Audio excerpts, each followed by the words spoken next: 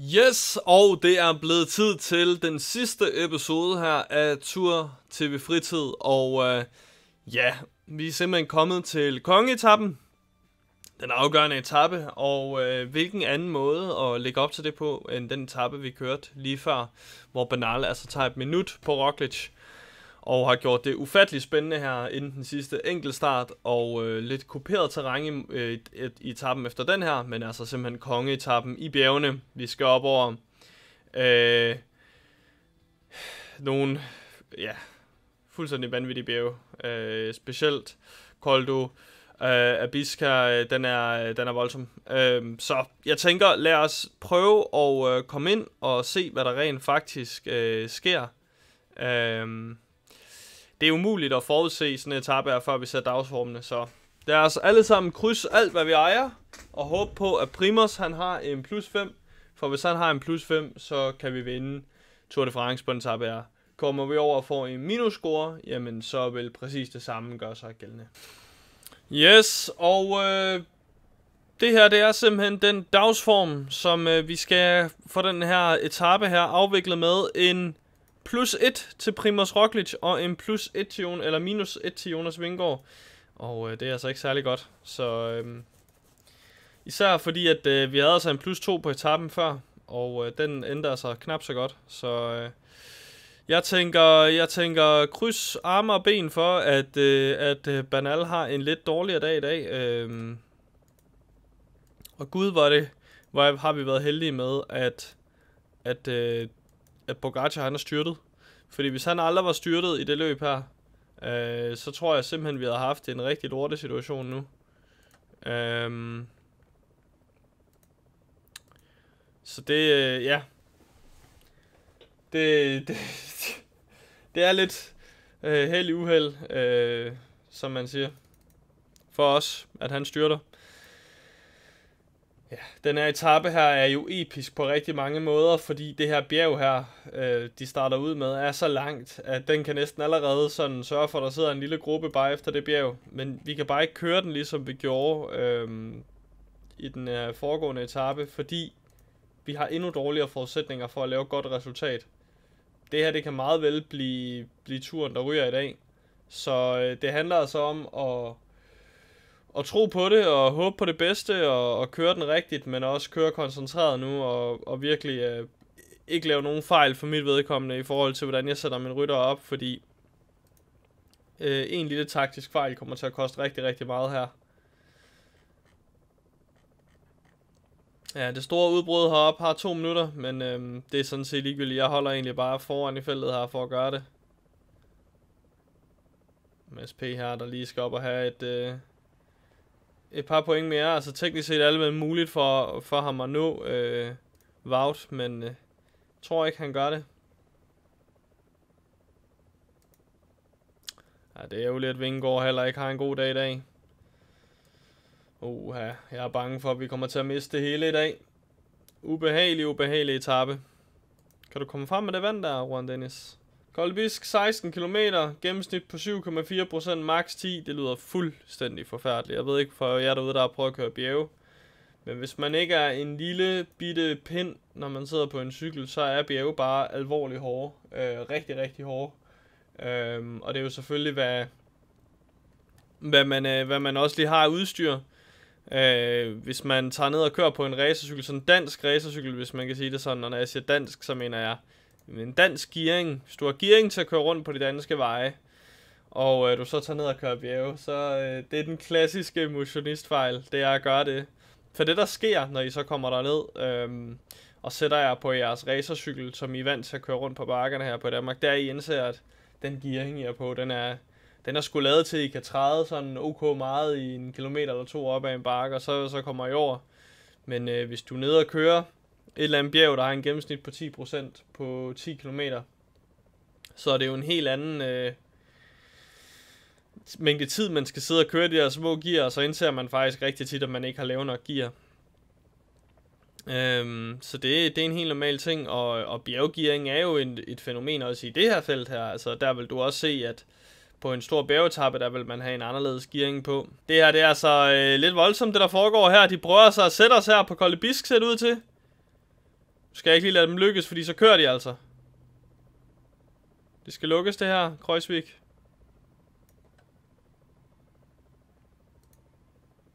Hvem er det, der ligger og sætter det tempo? Er det er så Carter Pass, der ligger og sætter tempoet? Ja. Banal. Det var lige vildt nok gjort, det der. Og så er det altså bare Simon Yates, der ligger herude i front. Og han kan altså få rigtig, rigtig, rigtig, rigtig, rigtig, rigtig, rigtig lang tid nu. Fordi jeg, jeg kan ikke se, hvem der er, der skal hente ham ind af. Ah, så kommer Geraint tilbage til front, så kan jeg godt se, hvem der skal gøre det. Men altså, ikke til at, at kimme sig af, hvordan de valgte at køre Bisk der. Det var lige ved at gå galt for os. Vingård var meget tæt på at færdig, og det er altså en plus 3 på Kreuzvik, der kan ende med at blive den helt store redningsmand i dag. Steven Kreuzvik. Øh, der er mange danske eksperter, blandt andet Jesper Vore, der mener, at han har de bredeste skuldre øh, i feltet, og det synes jeg er en, øh, en, en sjov... Ja, i hvert fald i forhold til, hvor lille han er. En lille bjergrytter, er, så har han meget, meget brede skuldre. Øh, det kan vi godt blive enige om, men jeg tror ikke, han har de bredeste skuldre i feltet. Det tror jeg er en... Øh, hvis jeg skal komme med mit bud på, hvem det er, så kunne det måske være... Øh, André Petit måske vil være et godt bud. Nu hvor at øh, det, ham der hed Gorillaen, den, den gode sprinter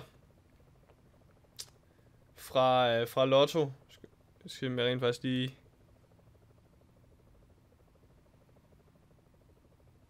Jeg glipper helt på, hvad det er, han hedder nu.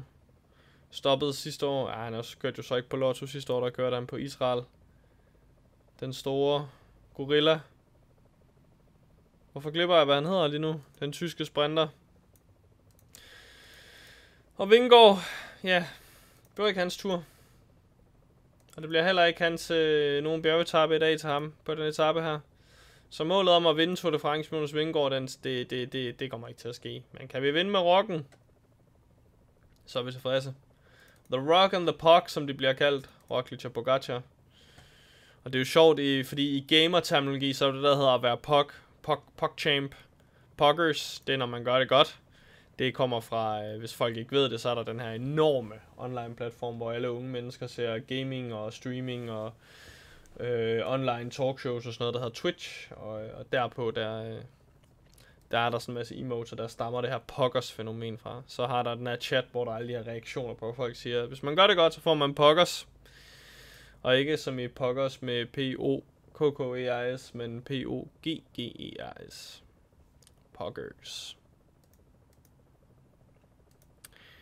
Ja, jamen øh, jeg er ikke så glad for den her situation her, fordi Bernal virker til at have fucking gode ben, og, øh, eller sindssygt gode ben, og øh, ja, det, det kommer til at blive slemt i dag. Jeg tror, vi kommer til at tabe den gule trøje til Bernal, og så skal vi tage at hente den tilbage på enkeltstarten, og ja, ja, det bliver meget, meget interessant at se, hvordan det ender det her. Vi har heldigvis en klasse enkeltstart, men problemet er, hans enkeltstart, den er altså også rigtig, rigtig god. Ja, nu ved jeg godt, der står 72, men han er altså i topform, og det er vi ikke. Men det bliver altså heller ikke på øh, Conde Sparlelles. Sparlelles går ud fra. Jeg øh, tror ikke, jeg udtaler navnet på den her bjerg korrekt, vil jeg godt lige sige på forhånd. Så hvis der er nogen derude, der sidder og tilter lidt over det, det er jeg sgu ked af. Det, det kan jeg ikke gøre noget ved. um, det kunne jeg nok godt. Jeg kunne have researchet det inden. Men det er også lidt sjovt at prøve at høre mig udtale navnet, er det ikke det? Det burde give et eller andet. Jeg føler, jeg føler at hvis jeg sad og så det her, så ville det være en del af, øhm, hvad man kunne grine af. Wow, Christian er virkelig dårlig til fransk. Ja. Anyway, tilbage til, øh, til virkelighedens øh, spil her, som man siger, det, det, det, det, jeg tror, jeg employer en, en old school taktik, en taktik, jeg har prøvet at bruge mange gange før, som hedder, kør dit eget tempo fra bunden. Øhm, jeg tror, det er det rigtige lige præcis i den sappe her at gøre. Øhm,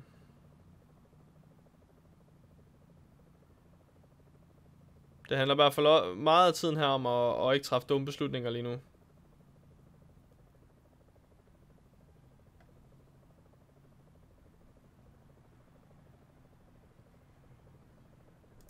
Jeg tror, Roglic han kan køre den her fra bunden med 76. Jeg tror, hvis jeg ikke rører den nu, så tror jeg, jeg har timet det perfekt stort set. Cirka 76, 75, 77, det område der. Og det vil sige, det jeg forventer, der kommer til at ske nu, det er, jeg forventer, når han ser, at jeg glider ned her, så forventer jeg, at Bernal angriber. Og det vi skal håbe på, det er, at den kraftpræstation, der er for Bernal at angribe fra gruppen her, kommer til at koste ham. Og, og det, her, det, det her, det er en god taktik, fordi nu kommer de til at tænke, nu kører vi, fordi nu rører, nu rører øh, jeg af her. Og så kommer de til at angribe. Det er forhåbentlig det, der er, det, der er planen her. Det er et, et, et forsøg på mindfucking. Lad os se, hvad der sker. Nu bliver vi sat. Nu bliver vi sat. Lad os se, hvordan de reagerer. Pogacar angriber med det samme. Mask kører med.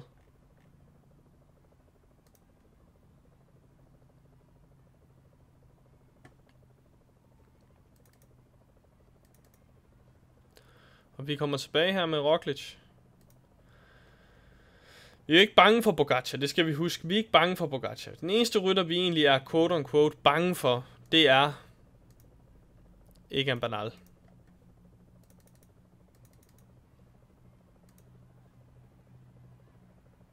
Vi er heller ikke bange for Jai Hindley.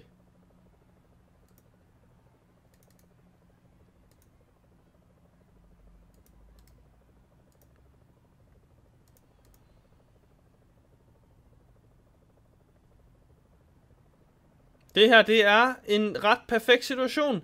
Banal, hvorfor han fører for mig her, i stedet for bare at angribe selv, det ved jeg ikke. Jeg har på fornemmelsen, at Banal har dårlige ben. Hvis han, hvis han havde gode ben, så havde han angrebet mig nu.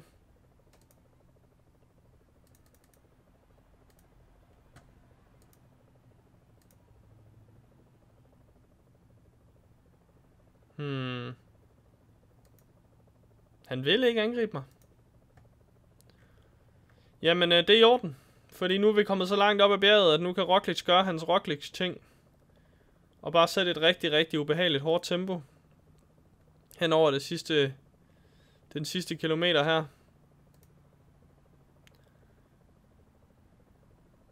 Og det betyder altså også, at selv Bernal har svært ved at sidde med her.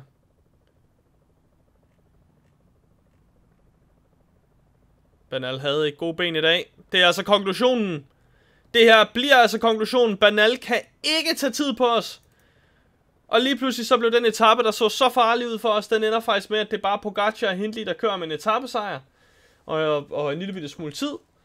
Øhm, og så er det faktisk øh, øh, øh, os, der lige pludselig er i pole position til, at, til rent faktisk at tage det her Tour de France her. Jeg havde regnet mere, men øh, sådan er det jo.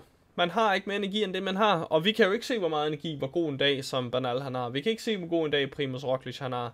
Vi, jo det, eller sorry, det kan vi jo så godt. Men vi kan, vi kan ikke se, hvor god vores dag vores konkurrenter har. Og derfor så er det jo langt hen ad vejen et spørgsmål om at time det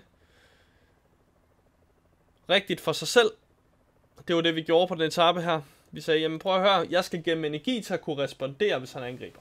Det var det, jeg havde gang i midt på bjerget.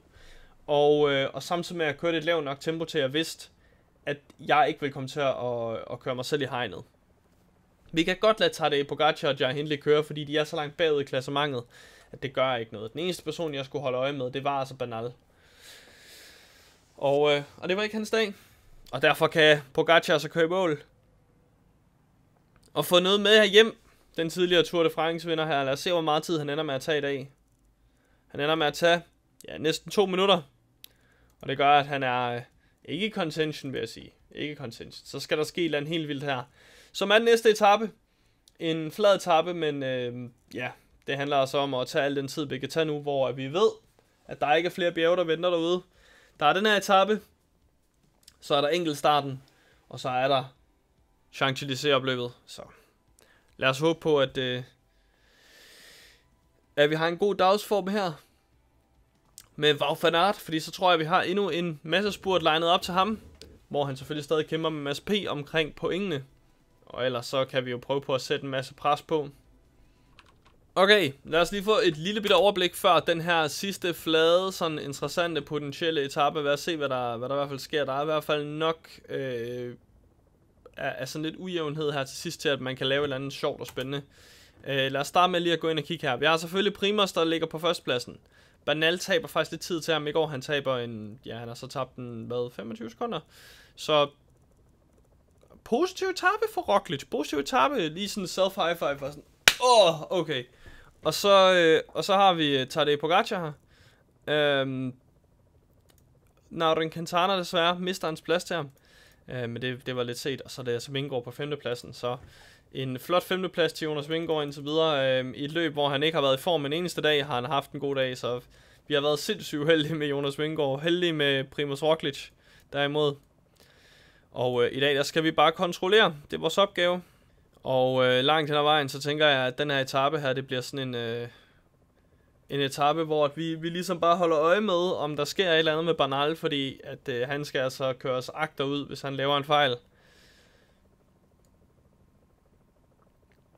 Det er jo det faktum, at vi, vi har holdet til at lægge enormt meget pres på, når vi først kommer sent hen på etappen. Det er også derfor, jeg ikke kører hurtigere end 65 med dem, fordi hvis jeg kørte hurtigere end 65 på nuværende tidspunkt, øh, så øh, ja, først og fremmest vil vi hente udbruddet lidt for tidligt. Det er der ingen grund til. Udbruddet, hvor at endelig har Frank Bonamur snedt sig med i, øh, i noget, der kan gøre noget. med det er altså tre ryttere fra B&B Hotels. Det betyder, at de burde i hvert fald kunne blive enige om at arbejde derop. Og de første små bakker, vi lige kommer ind til her. Hvis man var vild, så satte man jo tempo på hen over det her stykke her, men øh, nej. Jeg vil hellere gemme det til det sidste stykke, og så virkelig prøve på at, øh, at gøre en forskel og rive feltet over. Jeg har godt nok lige en pointspurt her, som Vaut han skal op og tage point i, tænker jeg. Så vi kan lige smide Vaut op på hjul her. Så kan du bare hoppe ned på sådan der. Carter styrter der ellers har øh, arbejdet sindssygt hårdt de sidste par dage i bjergene for Egan Manal. Cheese han får bare lov til at, at ligge og trække dem ind stille og roligt. Udbryderne. Åh, oh, åh, oh, oh, hvad skete der der? Og det når vi så ikke engang at se. Fordi de fik lukket det så hurtigt. Der kunne jeg måske have udnyttet lidt mere. Men feltet splittede simpelthen. Og der er altså 13 point at køre om her for Wout van Aert. Som lad os bare lige se er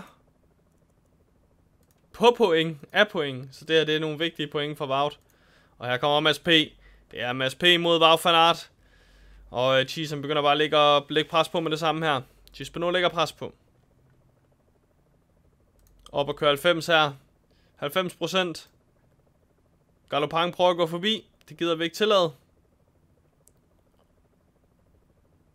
De skal ikke have lov at gå forbi her. Der er stadig rigtig langt hen til spurten. Rigtig, rigtig langt hen til spurten. Benot prøver at komme ind foran. Så er det Julian Bernard. Så. Så er det Laporte tid. Kan vi få åbnet den op her?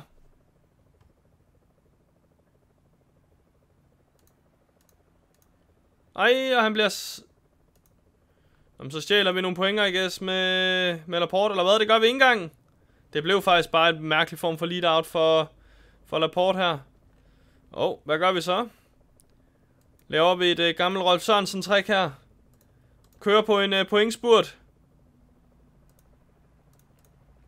Bare for sjov, ikke? Se hvad de gør. De gør faktisk ikke rigtig noget. Ja, det var mest ment som en joke. For at gøre Rolf Sørensen glad et eller andet sted derude. Men øh, ja, de, det, er en, det, er en, det er en kedelig måde, de gør det på. Fordi de, de, de siger egentlig bare, okay, så sætter vi bare sådan stille og roligt malende tempo og henter jer. Og nu holder vi altså pres på hele vejen ind til mål her. Det er det, der er planen. Gør Dumoulin så bare i bund. Cheese er op og hjælp ham. Ron Dennis er også har en øh, faktisk ikke en særlig god dag. De kan alle sammen få lov til at hjælpe Kreuzberg også.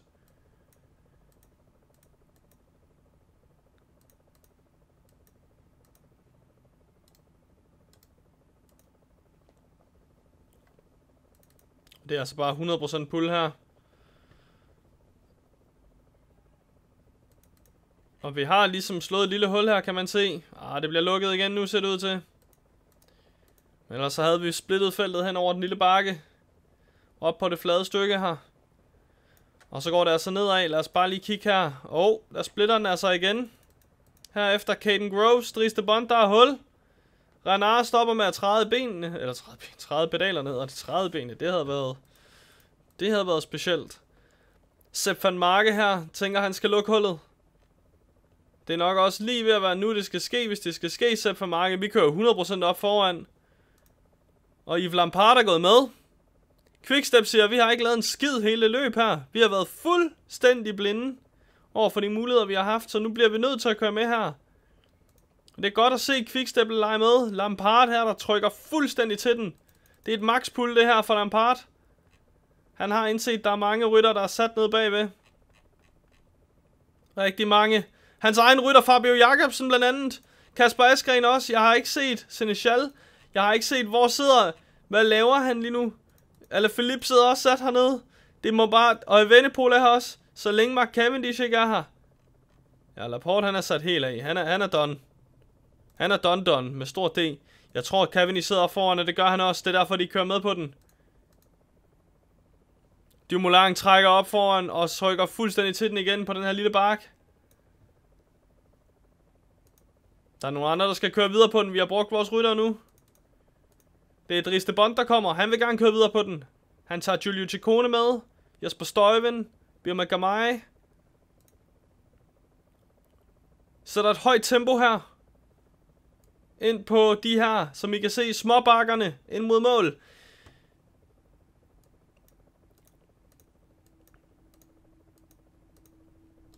Åh, oh, Jonas. Bare fordi jeg siger, at du skal tage fronten, betyder ikke, at, uh, at du skal slippe det her. Og vi har så flere rytter, der bliver sat af. Vi har gjort, hvad vi skal gøre for at gøre etappen spændende lige nu. Vi skal bare lige vente til det rigtige tidspunkt med at køre os frem her med Jonas Vingård. Det er sådan cirka nu, kan I se. Nu åbner vejen så op. Vingård kan komme ind, ind på venstre side. Og hvad så? Der sidder stadig en med 45 sekunder ude foran. Hvem er det? Det er Clement Demi for B&B Hotels i gang med at køre en af hans største resultater hjem. Men det er så spirakligt. Chikone, Jonas Vingård, der trykker til den hernede. Det er sidst i turen, så det er dem, der har friskheden, der kan gøre det. Vingård. Sammen med Støjven. Så lider vi ud her. For fanart.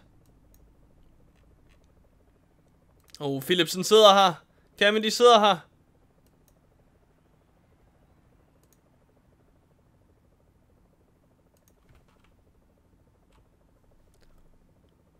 Støjmen prøver lead out Mads P, men jeg får et langt bedre lead out her med Roglic, hvor jeg får kørt først ind, og så kan Vaut åbne, men har Vaut ben til at køre den ind. Jeg får åbnet den for tidligt.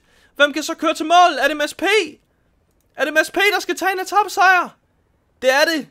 Foran Chugi, Sam Bennett, Gavidia og var van Jeg får kørt et alt for tidligt. Alt for tidligt. Jeg så bare farten gik ud, og jeg tænkte, ved du hvad? Det er en god mulighed for at, øh, og så man gap dem her, men det lykkes ikke. Men øh, vi taber ikke noget tid. Tager heller ikke noget tid. Og øh, det betyder altså, at det kommer ned til vores, til vores enkelte start her til sidst. Så status er efter den her etape her, at samlet der, der er det altså var Fanart i den grønne nu. Ja, det var en, øh, en spændende etape på mange måder. Øhm, Kigger vi sådan rent sammenlagt, så tror jeg ikke rigtigt, at den fik nogen betydning. Og på bjergklassementet, ej, det har jeg faktisk aldrig set før, at det var så øh, fordelt på den måde. Kun 60 point føres bjergkonkurrencen med på 19. etape. 60 point. Kun 60 point. Det var sådan noget, Michael Rasmussen han tog på en dag i sin tid. Den lange, afgørende enkeltstart, der skal simpelthen afgøre det løb her.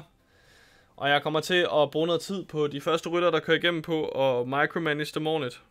Så lad os bare se, hvordan at uh, Laporte han klarer den her enkeltstart, og jeg tænker, at jeg tager mig rigtig, rigtig god tid med den her enkeltstart af flere årsager. Øhm, den ene er, at der er meget at lære om den. Øhm, ja. Det virker som til at være sådan en enkeltstart, hvor at du skal køre stort set samme pace i sådan et spil her hele vejen. Jeg tænker, jeg prøver to forskellige taktikker af her.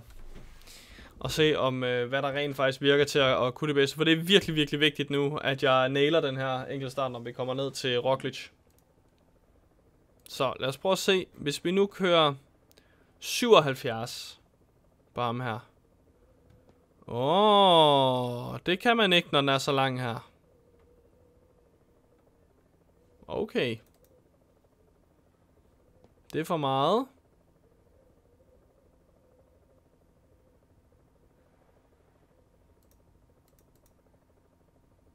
Godt se her. Det var ikke en udfordring sidste gang. Han kommer til at gå død før, hvis jeg kører så stærkt. Så 70 havde været det rigtige måske.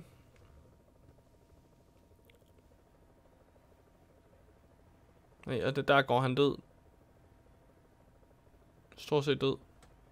Ja, det er faktisk rigtig, rigtig godt kørt af mig, når det kommer til stykket, fordi jeg ender med at få manageret det sidste stykke perfekt på grund af det. Øh, lad os lige prøve igen her med Ron Dennis her. Og se, om, øh, om, om, om det giver mere mening. Så lad os lige prøve at sige, hvad med hvis du starter på 75, og så bare kører igennem på 75 hele vejen? Hvad, hvordan ser energiniveauet så ud? Ah, se, nu følger de hinanden perfekt herop. Stort set perfekt.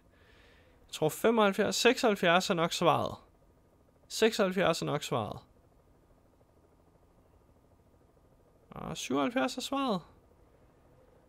Og så kommer der det sidste stykke dernede, ja. Så du vil gerne køre 79 også ned ad vejen. Og så vil du gerne ned og køre 75 igen. Måske her. Og så kommer det automatisk med nedkørslerne her. Om man ikke bruger energi, lad os se. Den kommer ikke til at tage så meget. Så flyver du opad her, der bruger du til gengæld masse energi, men så flyver du en masse nedad igen. Her bruger du ikke energi, og så kommer bakken til sidst, hvor du så skal have nok energi. Og der kommer han ikke til at have nok energi til at kunne køre rigtig stærkt op over. Oh, ja. Den, den får jeg næsten timet godt, den der. Med Rowan Dennis. Okay, så vi prøver lige med en 75 hele vejen strategi. Se, hvad det kan. Det handler altså om at prøve nogle forskellige ting af. På den her enkelte start her.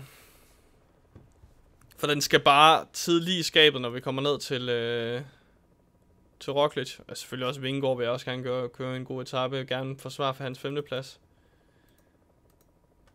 Hvem er ellers ude her lige nu? Hamilton, Bernard, Ciccone. Askren her i hans danske trøje. Dan, Dannebrogs trikon.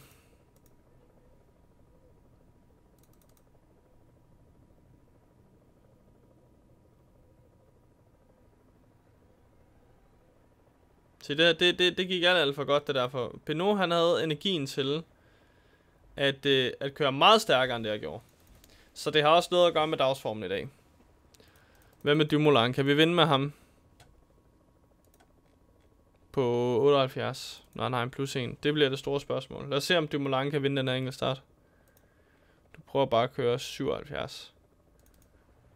Herfra, så lad os se, hvad der sker. Dumoulin havde kørt noget langsommere inden, så vi tænker bare, at vi kører op og kører 80 her, så. Dumoulin kommer til at køre en god tid her. Det, er, det er næsten overbevist om, at han gør.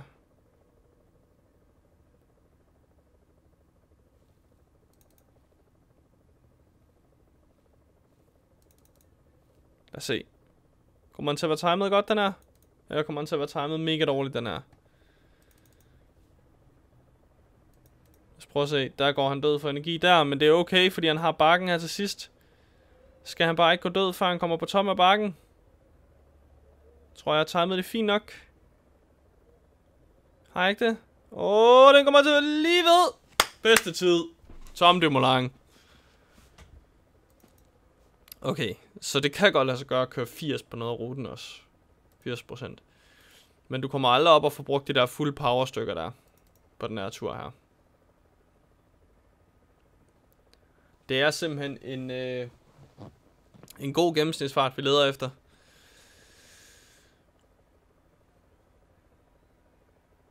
Nå, næste mand, vi har, det er Vaut. Hvem er ude på ruten her? Igen, Dabrowski, Gino Meda, Grushatner, Søren Krav Andersen her.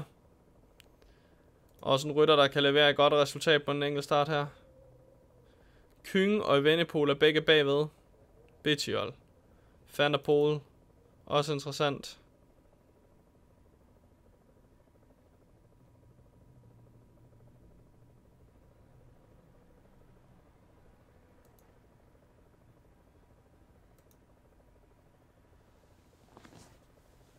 Nå, så er det bare tid.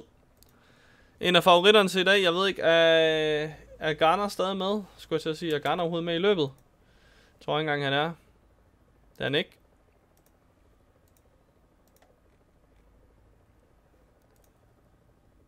...78 hele vejen for Vaut. Lyder rigtigt, ikke?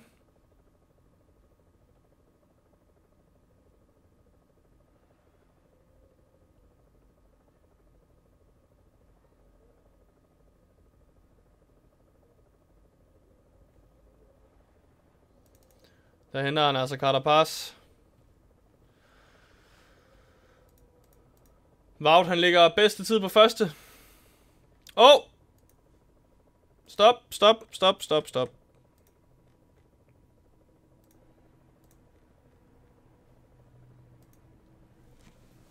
Så, sandhedens time er kommet her. Nå, vi holder lige øje med Vaut først og fremmest. Der er bare meget at holde øje med her. Ving er også ude på hans tur.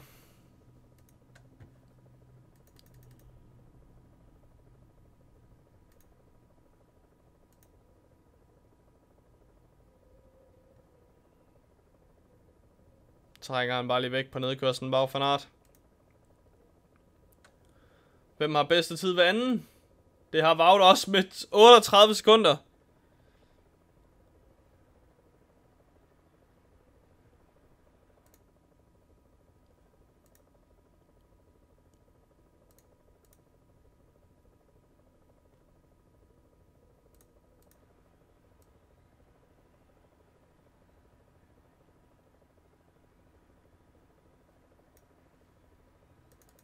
Og bedste tid, var van Aert med 41 sekunder ned til Geraint Thomas. Så får vi øh, Jonas Vingård her med 17 til mål. Er godt med med energien, så kan godt køre lidt hurtigere. Det ser omvendt ud her for Roglic, der, øh, der, der virker til at være lige, hvor han skal være rent energimæssigt. Åh! Prøv at se, hvad der sker her! Prøv at se, hvad der sker her! Primoz Roglic er i gang med at vinde Tour de France, kan jeg fortælle jer så meget, fordi han er i gang med at hente ikke en ærlig banal. Det er et virkelig, virkelig godt tegn, det vi sidder og kigger på lige nu. Banal er der bare gør alt, hvad han kan for at spurt væk, hvor Roglic der siddende trykker til den. Og Vingegaard her, der er øh, selvfølgelig kørt lidt over evne her. Eller ikke over evne, vi havde lidt ekstra energi at bruge af. Vingård, som bliver jagtet af Pogacar, som ikke er langt væk fra ham. Vingård, der, der ender 13 minutter nede i klassementet, så ikke, ikke en sejr med Jonas Vingård i år i Tour de France. Men en femteplads på 13 minutter viser også noget omkring, hvor vildt et løb det har været. Masser af styrt. Og masser af etapper, hvor der er blevet uddelt lusinger på. Kryds og tværs.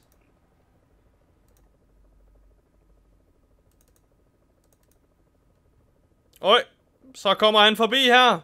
Primus. Og det er altså det samme som at se, han tager sejren. Han er så kørt forbi Banal på enkeltstarten nu.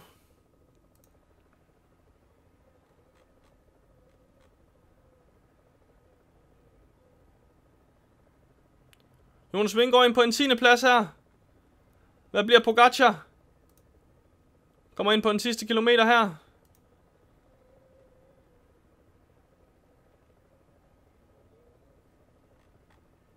Roger kommer ind her, og han bliver Thor efter Wout.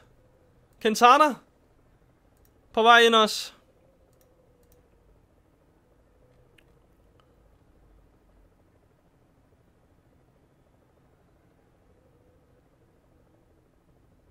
Og det er altså et fuld pull her mod toppen fra Primus Roglic, der tager etappesejren. Han tager etappesejren, Primus Roglic. Og det betyder, at han vinder altså Tour de France, og det er ikke helt sikkert nu, vi skal lige igennem chance han kan styrte ud. Men sådan er ser det altså ud. Tapper resultatet. Første anden pladsen, og jeg troede, jeg ikke kunne køre enkeltstart. Jeg kan køre enkeltstart. En kæmpe sejr for TV Fritid.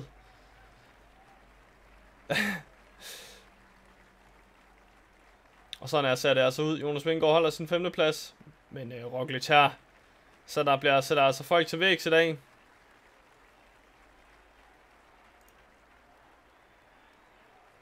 Pogacar beholder bjergetrøjen, vinder et eller andet, og Vaut her.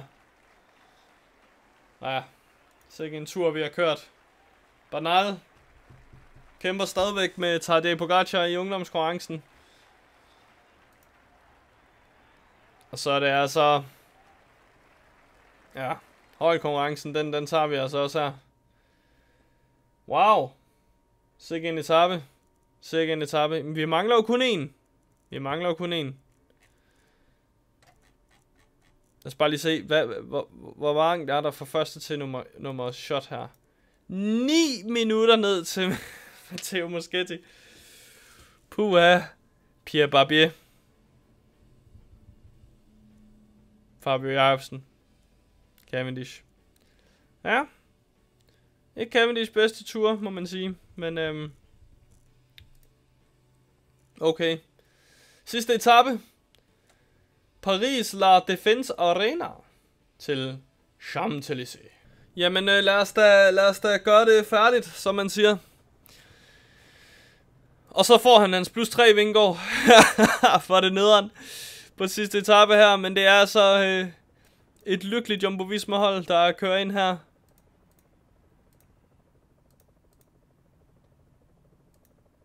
På den sidste etape.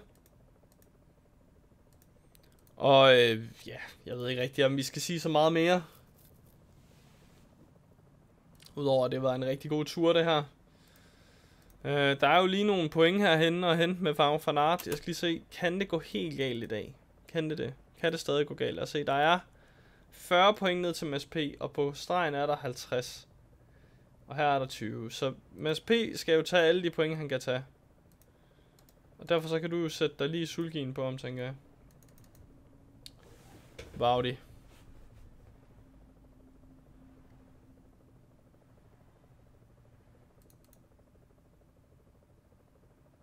Jeg har altid tænkt over, hvorfor man ikke kategoriserer det som, øh, som brosten, det her. Sådan rigtigt, når man ser dem, dem køre på det, så kan man altid godt se, at... Øh, altså bagover, når de lander på sidste etape. Det er jo altid den samme sidste etape her i Tour de France. Nå. Wout. B kører ikke efter dem.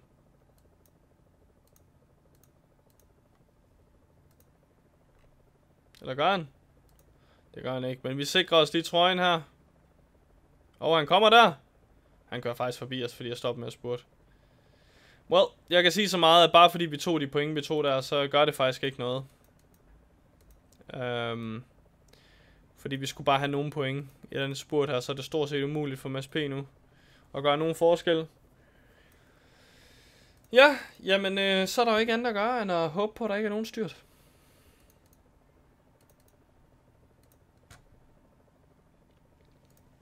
Udbruddet i dag består altså af Tim Vellens, Quentin Panchet og Remy Rochas her. Og det er Sperakli og Dumoulin hernede, der ligger før i feltet.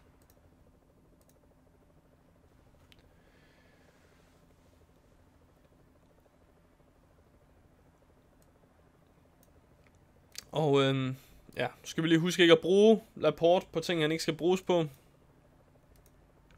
Vi vil gerne have ham til at lide os af i spurten.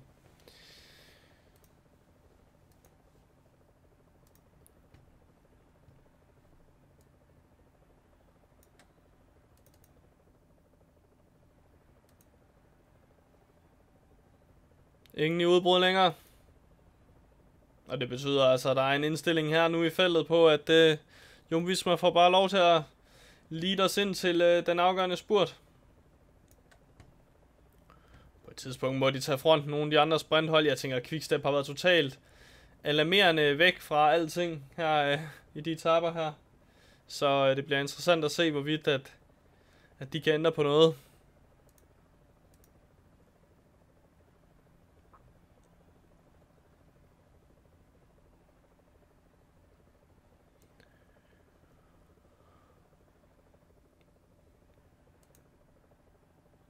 Det fuckede jeg vist op.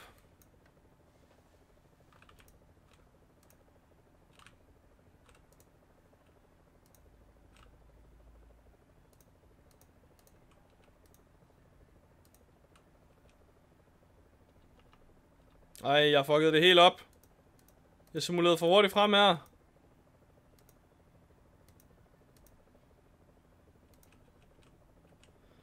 Det er jo faktisk det eneste, der ikke må ske med Vaut her. Det er jo det eneste, der ikke må ske med Vaut. Det var, at Mads B. han tog en masse point. Jeg, jeg har fucket det fuldstændig op. Jeg har fucket det fuldstændig op. Nej, det er skidt lavet. Nå, men altså... Ej, det er pinligt det der. Det er pinligt, jeg kommer simpelthen til at simulere for langt frem. Det er simpelthen en, en, en, en vaskeægte noob-fejl. Ikke at respektere positionskampen. Men ved hvad derude? Ved hvad? Jeg må sige, at af alle fejlene, jeg lavede det løb her, så var det en fejl, jeg kan leve med. Fordi løbet slutter således, at den sidste etape går selvfølgelig til Dylan Grunewegen foran Caleb Ewan og John Degenkolb, og så fik han også et eller andet at lave det løb her. Men ham her, han vinder altså. Woo! Det er simpelthen fantastisk. Vi vinder. Jonas Vingård bliver femmer, så vi vinder ikke Tour de France Jonas Vingård. Han taber faktisk med et kvarter. Men øh, til gengæld så øh, er situationen altså bare rigtig, rigtig fin ellers voldet. Så øh, ja, fed, fed, fed, fed, fed Tour de France. Og nu hvor der lige er lidt tid tilbage, så har jeg tænkt mig lige, og, øh, fordi der, det passer jo med, at der skulle være en etape mere, før episoden tilbage, øh, er færdig her. Så øh, for at slutte øh, godt og grundigt af, og vi skal lige se Vaut op på scenen også. Vaut! Og Banale ungdomskonkurrencen vinder her. Og øh, Jumbo Visma, vores hold selvfølgelig, tager holdkonkurrencen. Så det er meget tilfredsstillende. Ja, jamen, øh, der er ikke andet at sige, end når det kommer til Tour de France her, så er der ikke andet end at selvfølgelig afslutte hernede og sige, vi klarede det. Primoz Roglic sluttede på førstepladsen. Vi indgår desværre på 15, men vi vandt Tour de France. Så øh, ja, det er jeg meget tilfreds med. Det var det, jeg kunne have håbet. Jeg kunne også håbet på at vinde på Champs-Élysées, men øh, det vigtigste er, at vi fik den her. Ikke desto mindre, så siger jeg afslut her, og siger tak for det her eventyr. Som sagt, Vaut på førstepladsen er, som vi lige så, og øh, ja, fedt. Men der er jo lidt tid tilbage, og øh, derfor har jeg besluttet mig for at gøre noget for jeres skyld derude. Og det er nemlig at køre et andet løb her til allersidst. Og øh, der vælger jeg simpelthen lige at gå ind i den, der hedder World DB her, opret spil. Vi skal simpelthen køre et hurtigt lille løb her til sidst. Nu hvor at øh, det er muligt. Jeg tænker, at vi skal køre Strade Bianche. En af de smukkeste og fedeste løb. Og øh, ja, lad os slutte af med, med det i dag. Øh, som en lille bonus-etappe her. Og øh, der tænker jeg simpelthen, at vi stiller op med ingen ringer end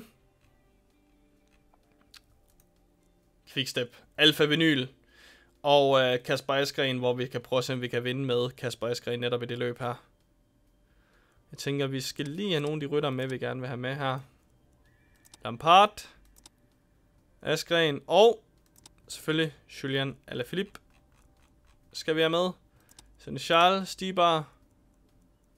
Øh, vi skal også have nogen, der er bedre på bakkerne og bjergene. Det er Vennepol. Og Maurice Smith som øh, som vores alt mulige mand.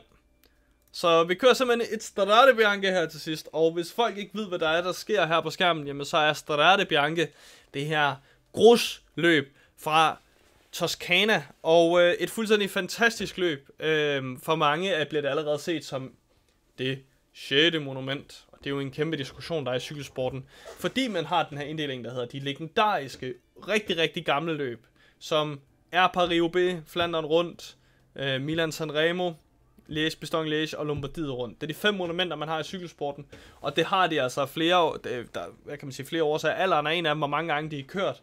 Øhm, men en anden ting er også, hvor legendarisk status de altid har haft løbende. Det har altid været kæmpe, kæmpe store løb, som gør dem til de her monumenter.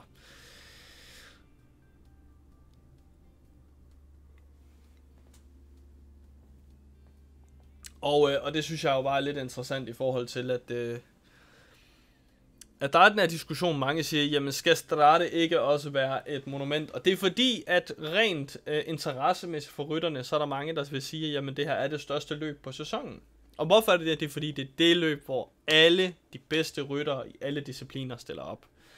Øh, og vi så selv, at øh, Kasper Askren i virkeligheden blev træer i det løb her sidste år. Så meget, meget specielt løb. Men det får I simpelthen her til at slutte af på, til at slutte den her Tour de France øh, oplevelse af på, så tager vi simpelthen den. Det bliver altså med et Strade Bianche i regnvejr, at vi skal prøve at vinde her. Og kigger vi lidt ned over vores rytter, så har vi altså en 0 på Kasper Eskren, som kunne være fed at vinde med. Øh, godt nok sige, at øh, der er lidt øh, turbulens her i feltet fra start. Øh, vi har Yves Lampard her, som jo også er en rigtig god rytter. Jeg skal egentlig bare sende ham med, med ud foran her, sammen med Timo Rosen. Valgren vil gerne med sætte ud til. Det vil også være en spændende rytter at få afsted.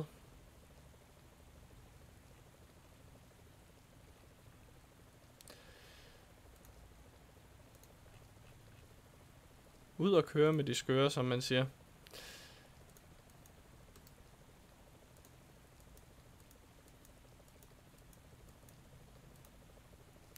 Yves, os har en god dag her, så han kan nå langt. I det her udbrud her. Nå. Det fik jeg vist sagt lidt for tidligt. Nu blev han lukket med det samme. Øh, ja.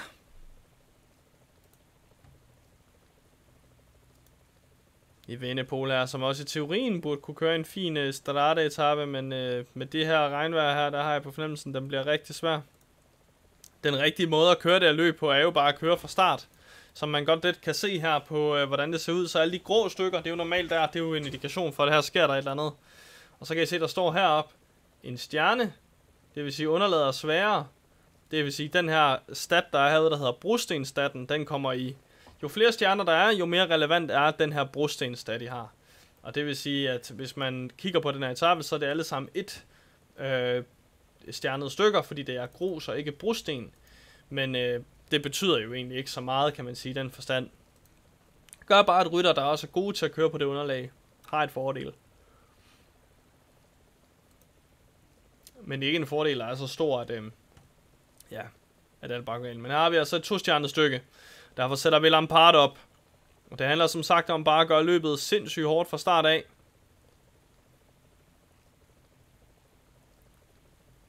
Så det gør vi. Benel med en punktering. Benel, som også i virkeligheden har gjort det rigtig, rigtig godt de gange, han har stillet op i det løb her. Er der nok, altså... Ja. Nok også farligt at køre meget vildere end det, vi har gjort her. Og vi kører selvfølgelig, som sagt, med alle flips, som desværre har en minus 2 på dagen her, men stadig er en fantastisk rytter. Ja, vi fortsætter ind her på La Piana stykket her.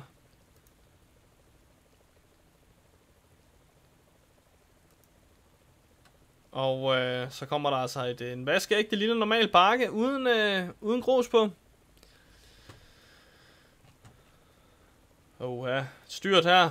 Joni Sagira. Nede sammen med Mølberger. Chimolai Zapata her. En rytter, som vi har set køre godt op af i Giro i et år. Men øh, vi har ikke set så meget fra ham siden. Det var sidste år faktisk. Han kørte godt op af der.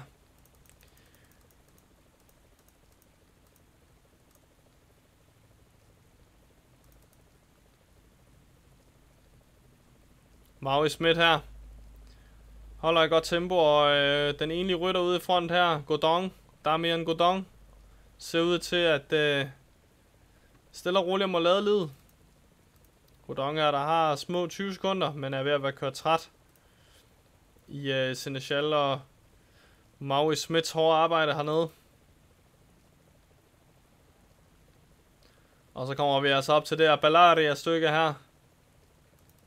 Som er et 2 km stykke. Der sætter vi altså tempo på. Loganio Lasso stykket.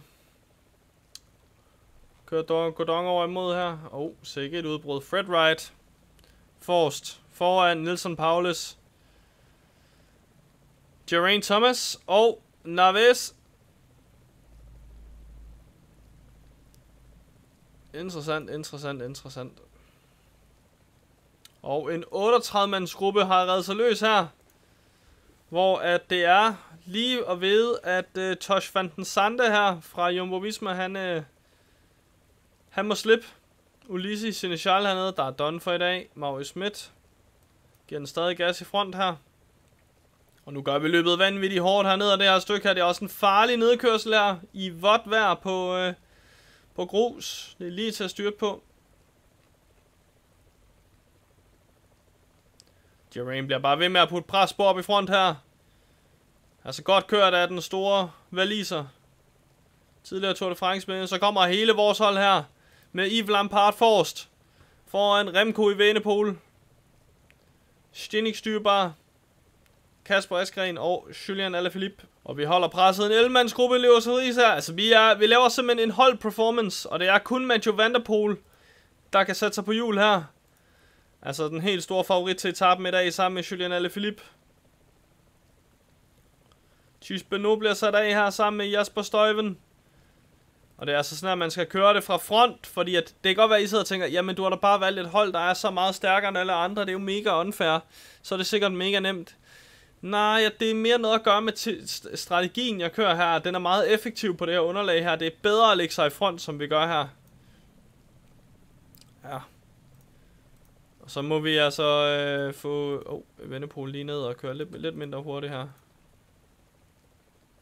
Og vi har altså en frontgruppe nu sammen med Jermaine Thomas her. Van der Poel.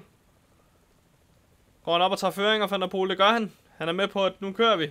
Også selvom det er et halvt quickstep hold, han kører herop med. Pogacar, der altså har været bagfra, måtte lukke nogle huller. Er i gang med at prøve at komme op.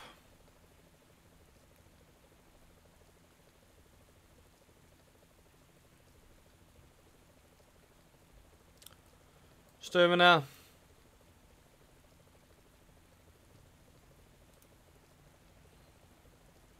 Ind på det næste stykke, San Martino en Grania. Kommer vi ind på her. Også et langt stykke. Oh, der, hvorfor gør den det der nogle gange? Det er da irriterende. Nu kommer jeg til at give alle mine drænung til alle mine rytter. Ja, de prøver så at trække væk fra fronten her. Mathieu Van Der Poel og, øh, og de andre, men jeg lader dem gøre det. Mohoric. Jeg lader dem gøre det. Der er ingen grund til at gå fuldstændig i rødt felt her endnu. Der er langt til mål. Og nu skal de alle sammen sidde og arbejde. Hvorimod hvis mit hold her, hvis, hvis vi sætter os op på hjul af dem, så skal de, vil de nok forvente, at mange af de her rytter stopper med at arbejde. Nu arbejder de alle sammen op foran, og vi kan altid lukke hullet, tænker jeg. Vi kan altid lukke hullet, hvis vi skal.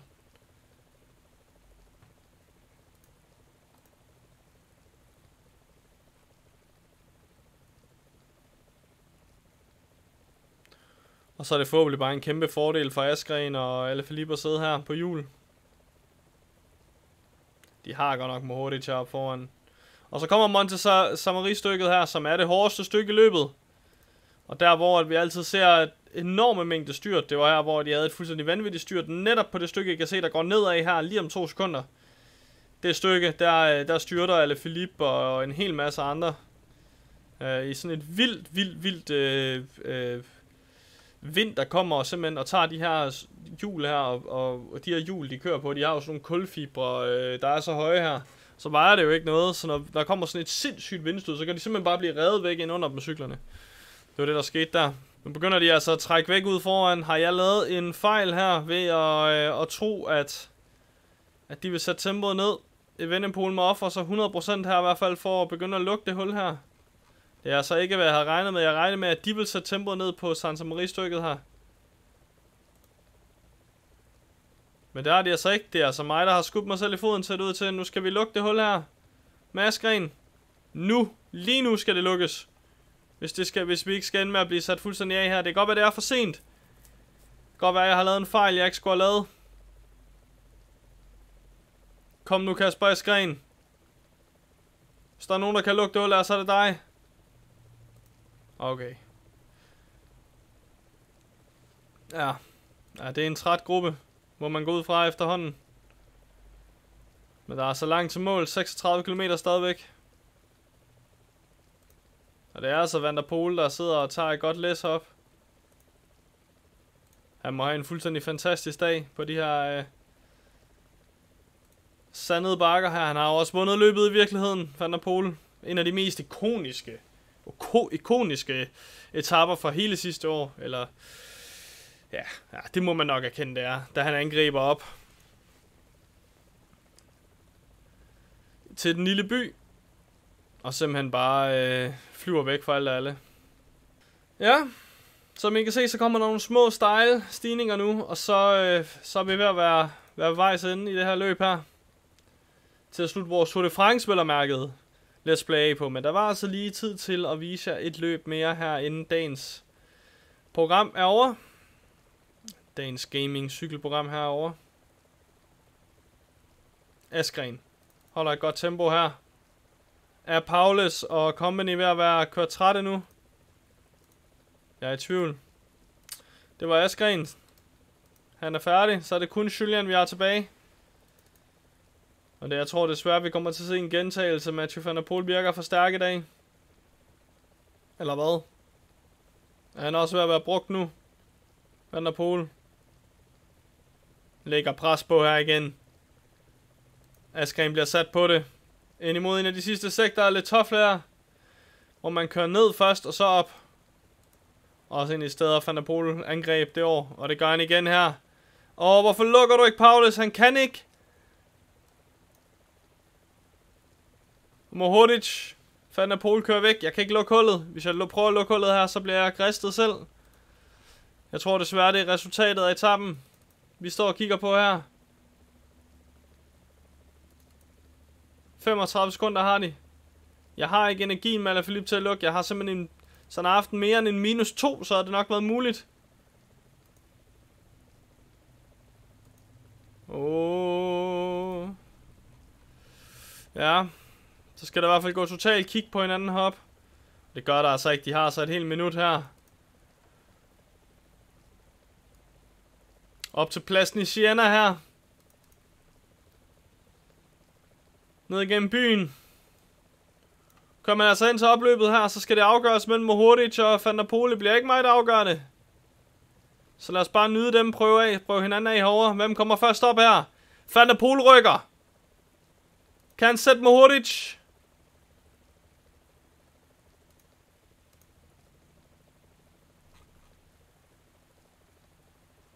Kan han sætte Mohodic? Går Mohodic forbi på de sidste meter? Det gør han! Eller hvad? Det bliver Van der Og i mellemtiden har jeg kørt mig selv sammen med de andre gutter her helt i hegnet.